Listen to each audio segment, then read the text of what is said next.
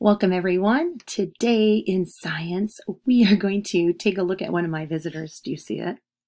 I can't even believe it.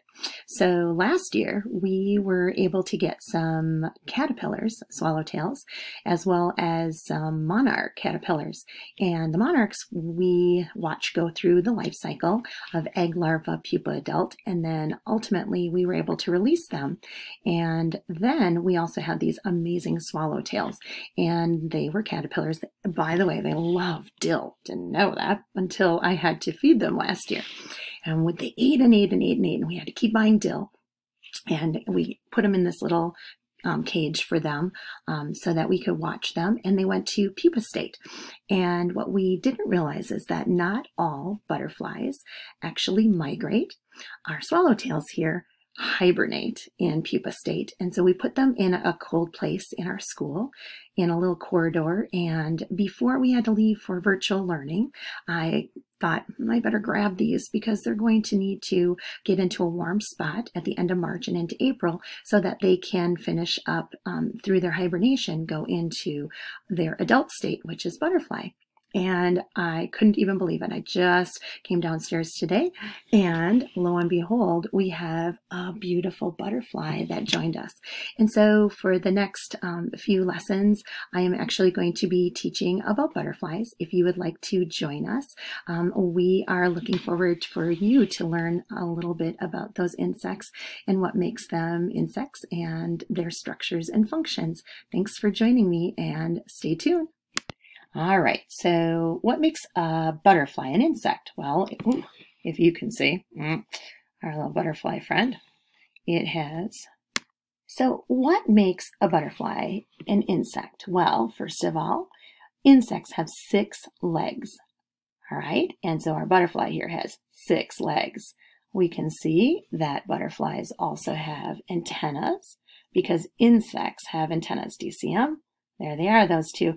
What makes them a butterfly is that they're clubbed. Do you see how it looks like a golf club at the top? Kind of cool, huh? Well, what else makes a butterfly an insect is if you can see, it has three main parts. You have the head, the middle part where the wings are is the thorax, and of course that back long section, do you see it right there? That's its abdomen, all right?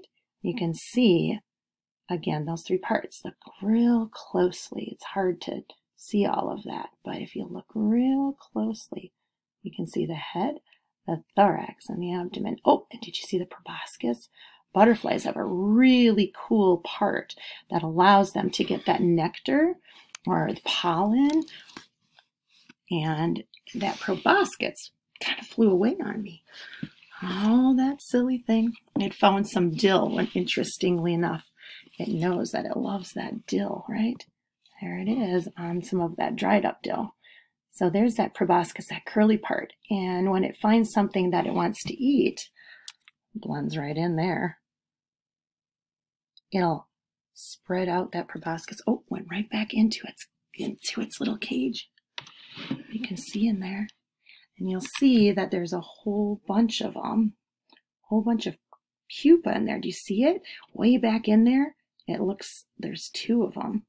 There's a whole bunch in there. There's one way up at the top and two down on that stick. That's actually what it looks like when it's in pupa state. It looks like a little piece of the stick. And so that's pretty cool that we're going to watch. Oh, guess what? There's another one in there too. Oh, they're coming out left and right. There's another one. Well, must have just come out a little while ago. So we have two swallowtails.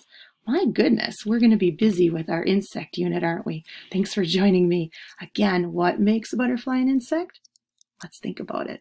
Head, thorax, abdomen. It has antennas. It has six legs. It's identified as an insect. It goes through its life cycle. Egg, larva, pupa, adult. I hear something, so I'm thinking that there's another one coming out. I can't wait to show you.